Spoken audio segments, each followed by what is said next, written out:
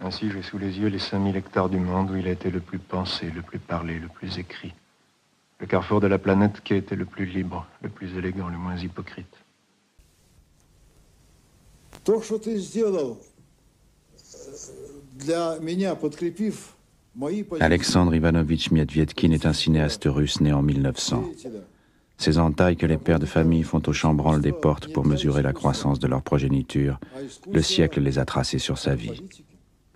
Il avait 5 ans, Lénine écrivait Que faire? 17 ans et il savait. 20 ans la guerre civile, 36 ans les procès de Moscou, 41 ans la guerre, 53 ans Staline est mort. Et quand il meurt lui-même en 1989, c'est dans l'euphorie de la perestroïka. Dans une de ses dernières interviews, il m'engueulait de loin, comme d'habitude.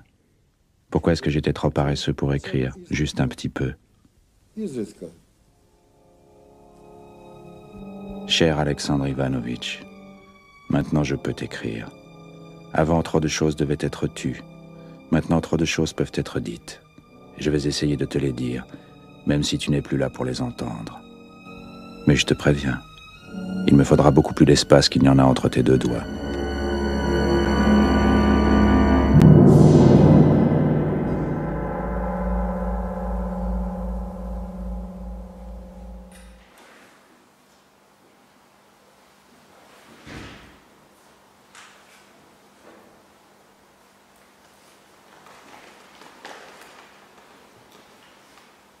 Cher Chris, je crois que je me trompe.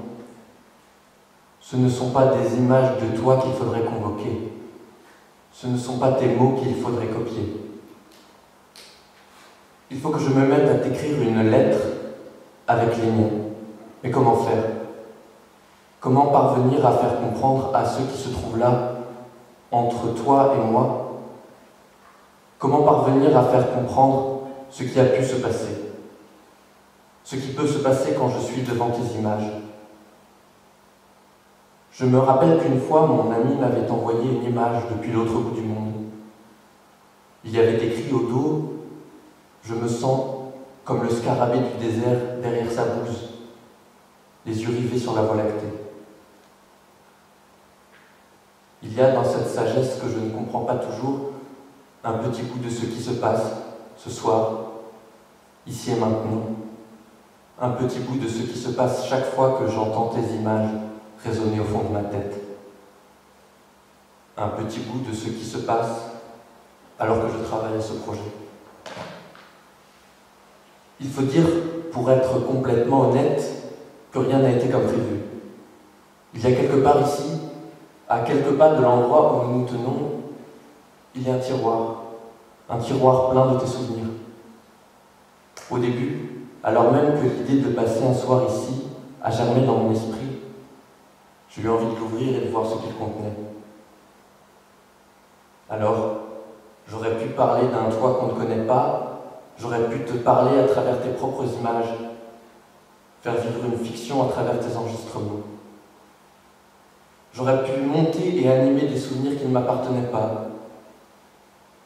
Sur le tiroir, enfin sur son émule numérique, il est écrit ce qui suit.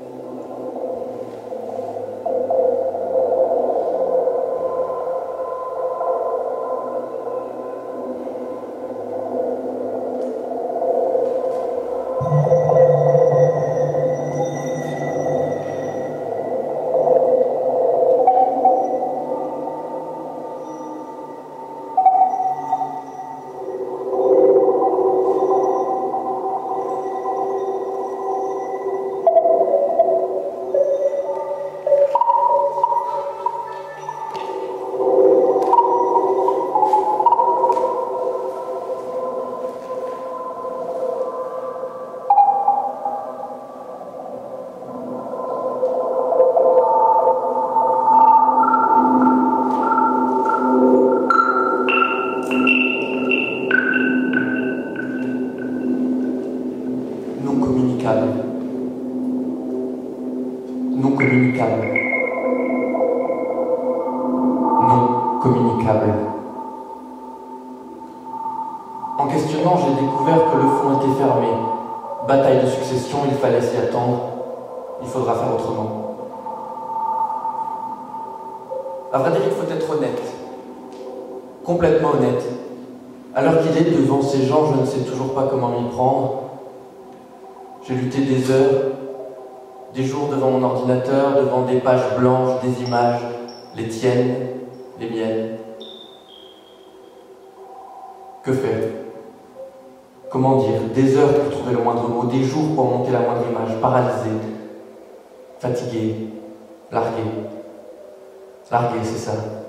Comme quand le monde avance et que toi, tu restes au même endroit, sans plus pouvoir faire un pas. Ce projet finalement est un constat d'échec, une tentative de t'écrire qui ne se soldera que par quelques mots dont je ne sais pas quelle sera la portée, et par quelques images qui seront presque muettes. Il faut dire que je n'ai pas l'habitude d'écrire à quelqu'un parce que je ne sais pas le faire, alors t'écrire à toi. Pourquoi avoir eu cette idée et surtout pourquoi avoir invité tous ces gens? Car vous êtes là, vous m'écoutez, sans savoir à l'avance ce que je vais dire, sans savoir à l'avance si ce que je vais dire aura même de l'importance ou ne sera qu'un monceau de conneries ou une suite de choses qui ne vous toucheront pas. Pourquoi être venu jusqu'ici ce soir? Par quelle volonté avoir changé le cours quotidien de vos vies pour venir écouter des gens parler de choses qui n'auront peut-être aucune valeur? Finalement, j'aurais pu aussi bien me taire et attendre que le temps passe, et nous aurions tous ensemble écouté le silence, nous aurions été tous égaux, nus, devant le monde qui nous aurait dépassés, submergés. Mais non, je parle. Je parle, et encore, et encore, et encore, je parle, et vous m'êtes supérieur, car votre silence est un jugement suspens qui, à la fin, peut-être n'attendrez-vous même pas jusque-là, tombera. Et moi, dans ma nudité, je n'aurai plus qu'à l'accepter.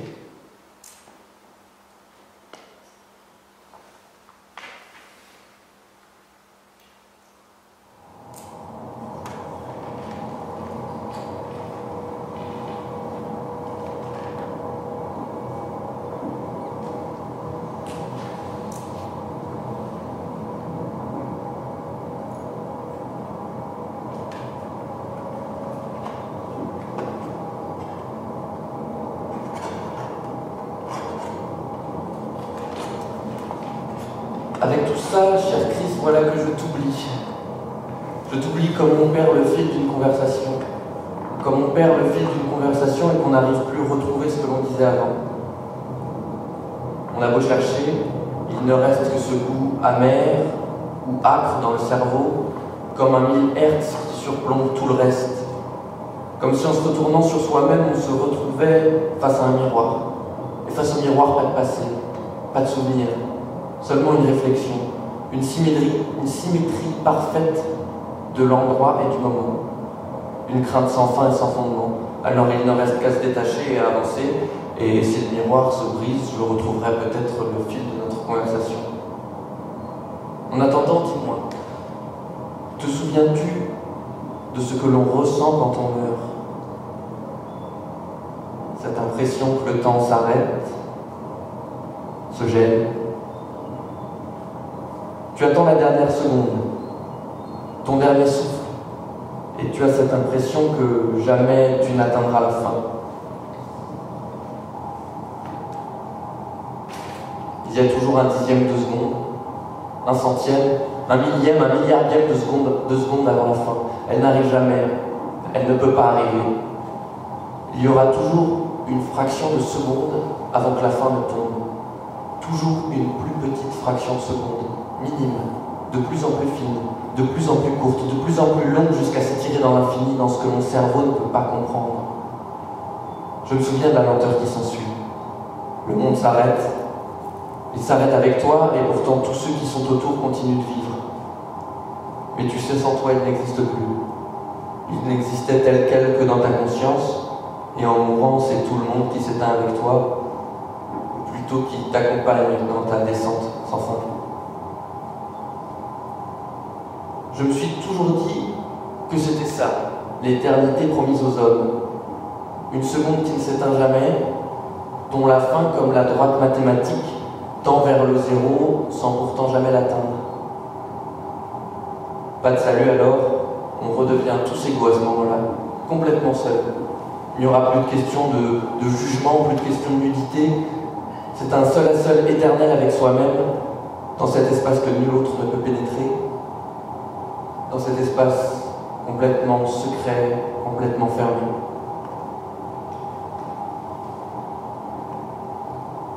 Où es-tu resté bloqué, toi? Dans quel film? Dans quelle image? Dans quel raccord de souvenir Personnellement, j'aimerais mourir dans le moment le plus heureux de ma vie, pour ne pas connaître la descente qui suit toujours. Et comme ça, mon interminable seconde, celle qui ne s'arrête jamais, aurait un goût d'achèvement. Quant au nirvana, si seulement je souhaitais l'atteindre, la seule solution pour moi serait de mourir en dormant. Au milieu de la nuit, on ne sent plus le temps qui passe, on s'éteint dans le vide, sans plus se rendre compte de rien. On n'existe plus, et ce qui est merveilleux, c'est qu'on n'y trouve rien à redire. L'interminable seconde n'existe pas, plus rien n'existe. Et l'éternité peut être tranquille.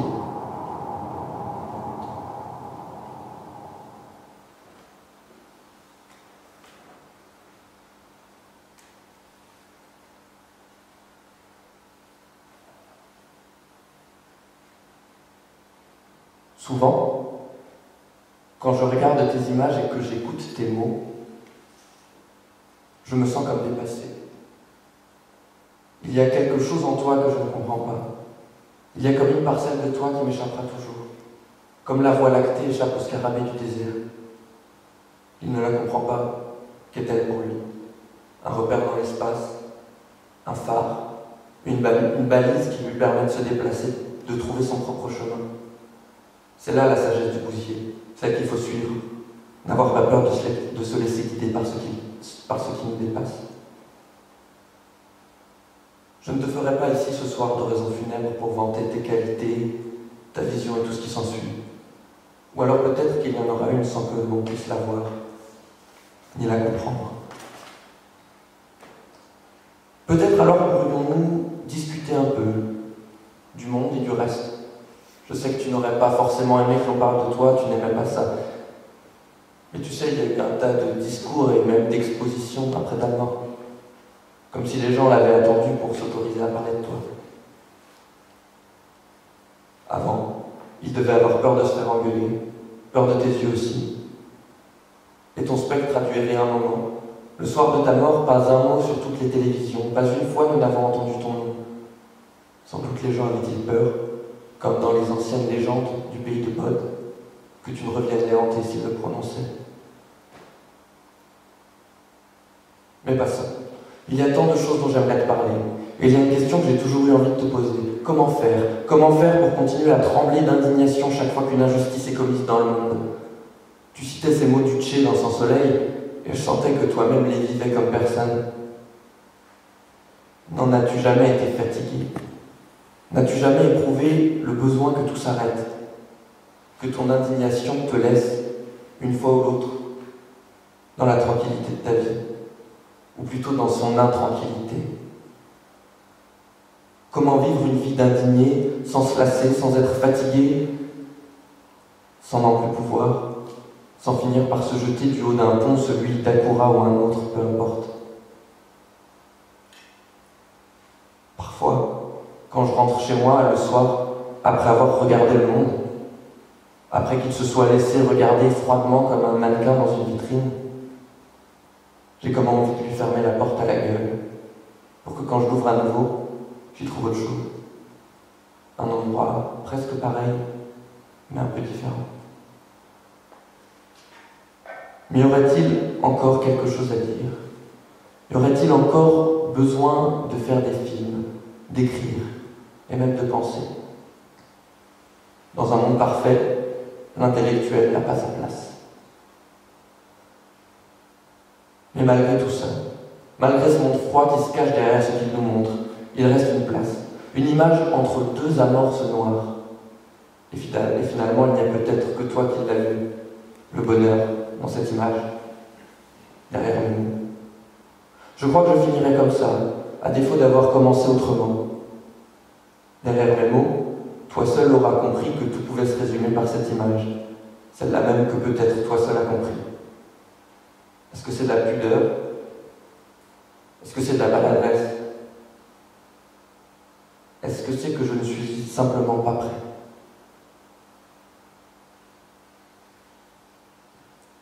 J'aurais voulu mieux t'écrire, j'aurais voulu mieux te dire, j'aurais voulu, j'aurais voulu. J'aurais voulu. Sans doute que la concentration m'a fait défaut, sans doute que les yeux lourds, je n'ai pas su voir quelles étaient les ouvertures pour te parler. Je n'ai pas réussi à pénétrer le labyrinthe de mes pensées, de mes sentiments, de mes calculs ni de mes envies. Je n'ai pas réussi à prendre le temps de faire ce que j'avais prévu pour toi. Comme quand après un long séjour au dojo, tu te promets d'y revenir plus souvent, mais que ta vie quotidienne t'éloigne de ce à quoi tu tiens, de ce à qui tu tiens. C'est une leçon. Il faudra en tenir compte la prochaine fois. Se retirer quelques jours dans une caverne numérique comme la tienne et travailler dur pour te dire ce que j'ai sur le cœur. À bientôt, François. PS. J'ai finalement réussi sans que personne ne le sache à t'écrire comme un ami, en oubliant tout ce que tu avais fait pour moi. J'ai finalement réussi à t'écrire comme à moi-même. Merci.